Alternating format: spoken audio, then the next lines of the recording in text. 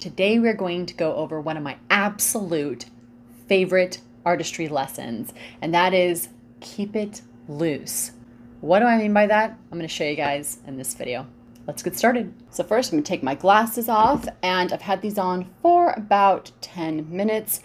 And if you guys are having age concerns, do yourselves a favor and get these eye patches. Any kind of eye patch is going to help because it drives moisture down deep into the skin and it helps to plump out any fine lines or deeper set lines. And it really helps the makeup go on much smoother. Go ahead and add your SPF, your vitamin C, your eye cream, or whatever routine you're doing. I'm going to go ahead and just quickly put on this hydrating spray by Kosas. It's the Plump and Juicy Vegan Collagen Spray. I love this for a quick hydration. I use this on myself and in my kit. And then we're gonna head right into the makeup look. I just want to quickly state a few things about this makeup look. Keeping it loose with your makeup application simply means not going in with hard pressure or collapsing your brush and doing these kind of hard buffing motions. When you go in loosely, just like a painter does, then you get that painterly finish and it creates a really soft, beautiful makeup look. That's something I want to reiterate because I talk about this a lot on my channel is you do you. If you have a makeup look that you love and you like to go in with a heavy hand and you like to go in aggressively with your brush and it makes you feel good, then do that. These are just suggestions for you guys, and the best version of you is all that really matters. So let's go ahead and first start with some eyebrows because I'm feeling utterly naked without them. On half of my face, I'm going to do what I see quite often with clients, which is more of a heavy handed application. And on this side, I'm going to do the loose version. So I'm going to go on with my Makeup Forever Artist Pencil. These can be used anywhere on the face. And this is in the color Limitless Brown. So what I see a lot of is this type of motion where people are drawing their brows on. And I get it. It makes sense. You want to draw your brow because you're trying to fill it in. Now I'm taking a brush and softening it because I do notice clients do soften it. They don't want to just have a harsh line across their face. Now this color is a little light and this was not by mistake. I did it on purpose because I'm going to show you guys if you have a eyebrow pencil that's too light for you, say you change your hair color, you can go in with your eyeshadow and it will further soften that brow. In fact, I find a lot of people don't like to use the darker colors in their eyeshadow palettes. This is a great way to utilize what you have. I'm going to go in with this black small domed brush and just lightly powder that on top. And here we are, but we could take it a step further to soften it even more. Now, don't get me wrong, I am a big lover of the 1920s and the 1960s and the 1990s brow because that thin, bold brow comes back every 30 or 40 years. So I do like this style brow, but I'm gonna show you guys how to soften it a bit while still getting the same effect. You can completely skip the pencil, grab a little bit on your brush, and we're going to do a technique that I've talked about consistently, but for those of you that are new, we're going to do the scribble technique, which means we're not drawing on the brow. We are trying to get to the skin underneath the hair so that the brow hair sits more on the surface rather than underneath the pigment, which obviously our brow hair sits above the skin. But when we put too much product on, it can flatten the brow hair and kind of lay it down and create a thick, hard line. So if you scribble, you just wiggle back and forth with a very loose wrist hand motion. So I'm very softly using the brush back and forth, not trying to draw any line here, just following the brow shape. And I want to note that I am putting the product on the side of the brush right here, not on the tip, because I'm using the flat part to lightly apply. At the end, I'll use the tip of the brush to detail. But right now I'm just trying to stain.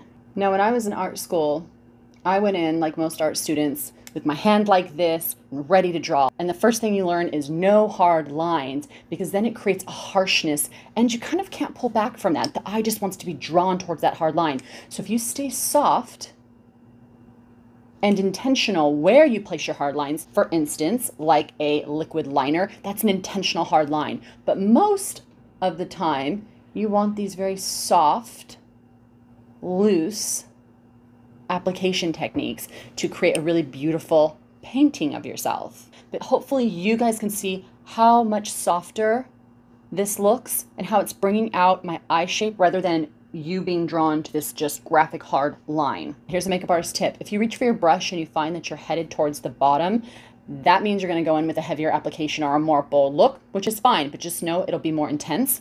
If you stay back here at the end of your brush, loosely working so that your hand can flick the brush like this, you'll get a softer look. Let's go ahead and open these eyes up by curling the lashes. And an eyelash curler makes the most significant difference in your makeup look because the hairs, if they're going down, pull the eye down. If you open the hairs up and out and open, opens the eye up. Makes sense, right? So we're gonna go ahead and go at the very base of the lash. I like to hold for five seconds, release, but not move it away from the eye, and hold it again for another five seconds, and release, and again. I have a backup of a bunch of mascaras and I'm doing a drugstore comparison for my TikTok and one of the mascaras is the Sky High by Maybelline. This isn't sponsored, it wasn't given, I just happened to have it here so I thought I would go ahead and use it for today's video. I have heard really great things about this mascara so we could try it on together.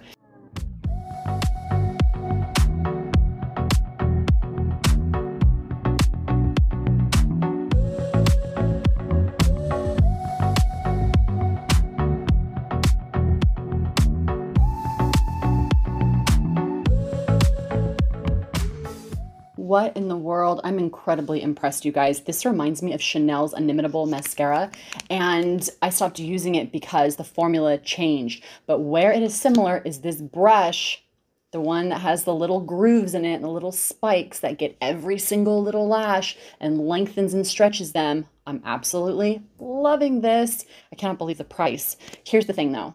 Is it going to hold? Because I find that drugstore mascaras do a great job initially being extra black and making your lashes look pretty damn good, but then the weight of whatever they put in the product formula weighs the lashes down and they just look terrible. So I'm excited to see by the end of this video if the lashes are still standing. Ooh, this next one hurts my soul a little bit, and that is eyeliner. Harsh eyeliner all the way around the eyes. Now I get it. Eyeliner brings the eyes out, it draws attention, but can also create an intense harshness. This is what I see often. Pulling and placing across the lid in one hard line. Now, not bad looking, right? But I'm telling you guys right now, it's closing the eye up and it's creating less of a lid space. So there's a heaviness there. Then I see this, where they take that same pressure and color and just wrap it all the way around.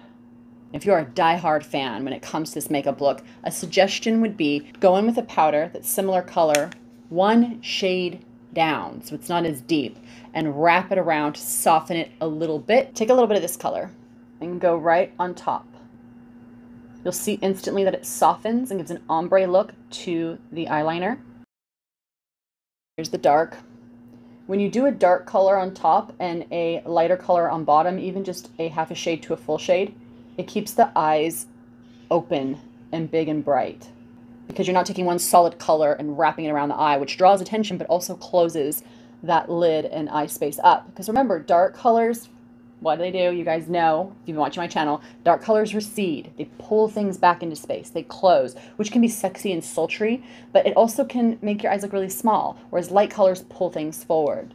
So it's about finding that balance. And in makeup, there's no right or wrong. There's just me giving you guys tips that you have options. All right, let me show you guys how I would do it, keeping it loose. I like to work off the side of the pencil and go as close to the lash line as possible, especially as you age. Skin starts to fold and our lids start to droop, so you get an overhang of skin. So you want to stay really, really close to that lash line. Just wiggle back and forth.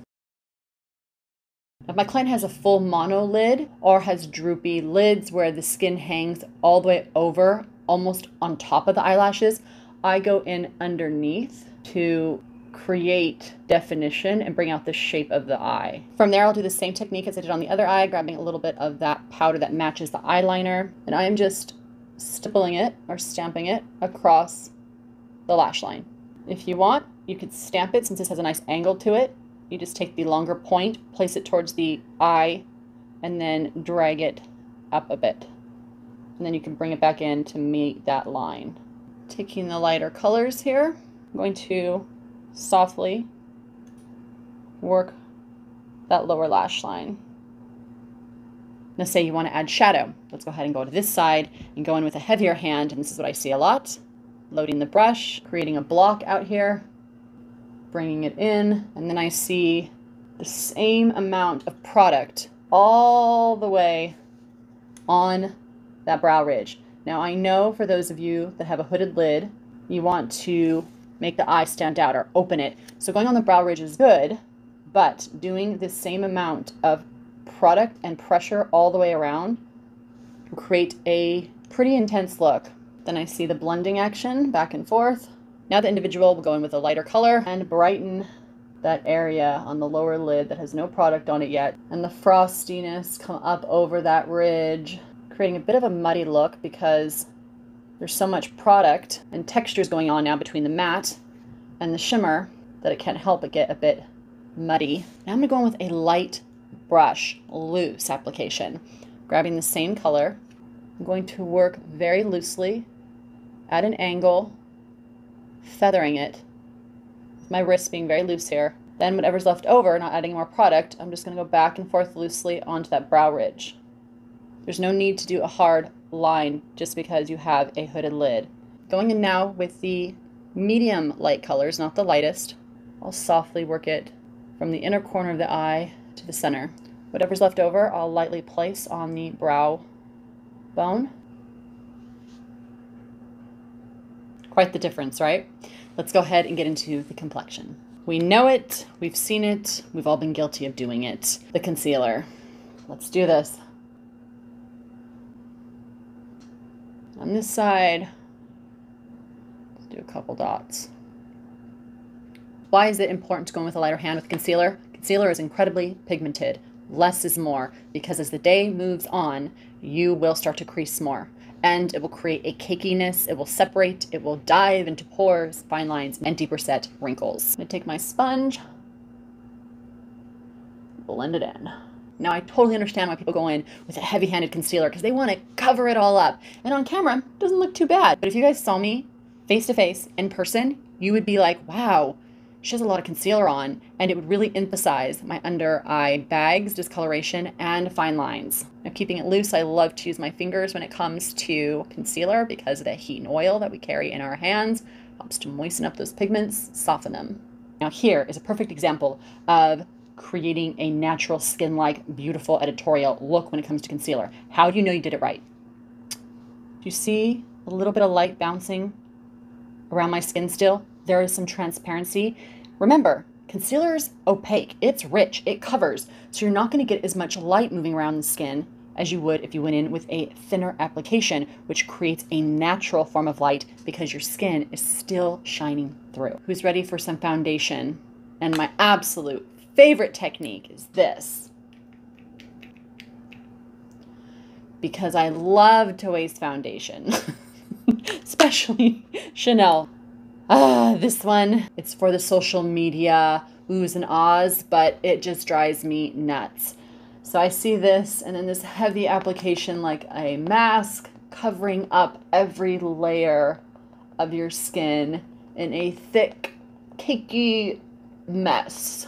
So from your perspective, it probably looks pretty good. But don't worry, I'm gonna bring it in so that you guys see the difference between the two sides at the end. When it comes to this side, take about that much, I lightly push it into the skin towards the center and then work out. Taking a clean sponge, this is one of the best tips I can give you, is this technique for foundation. You want to press and roll. What this does is it pushes the makeup into the skin and takes off any excess. And that's the big part here. Taking off the excess makeup will help your powder lay down better. Let's go ahead and add the highlight. Take your brush, and I do this technique a lot. It's one of my favorites. I grab eyeshadows and use them all over the face, but I use the lighter colors and I will very lightly add it to the high points of the face. But what I see is this heavy application and then back and forth so that it looks like a stripe on the face. And then I see that same technique down the center of the nose. And what I recommend you use a powder, but my favorite is to use a balm because balm sticks are any type of texture that has that gel wet finish. So to keep it even here, I'm going to grab a little bit of that product and just lightly dust it across the high points of the face. Here, tiny bit above the brow, a little around the ear, a little towards the chin. But if you want to soften it even further, which this is my favorite way to wear highlighter, and you want to skip the powder altogether, take a balm tap it on the high point of the face. Now you can really create a bright, bold look if you mix the two like I'm doing now, which is use a powder and then soften those pigments with a balm. Now that still has a lot of kick to it. I would even pull back further, but I wanted to show you guys that if you want that high beam effect, you can still do it without having a stripe across your upper cheek area or your cheekbone. Another one that's my absolute favorite is this, and I'm kidding by the way. Now this is too much product, and I see it often. See this tapping, buffing motion, and then feathered. This is stripy.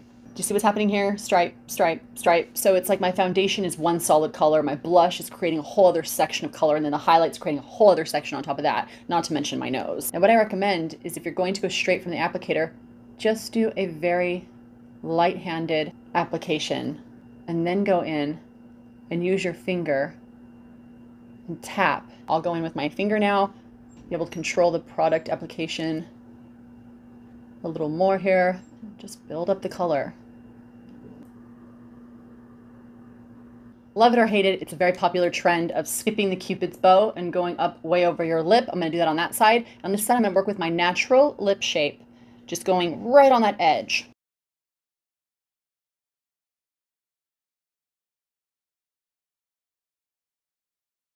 Taking a light pink color, going in with a lot of pressure and layers and layers of lipstick. On this side, it's going to lightly tap. Now, a lot of people like to leave this as is with two tones. Totally fine. Like I said, it's a preference. I'm just showing you guys how to soften this though a bit. I'm going to grab a little brush. Just soften that line up so that they blend together, the lipstick and the liner.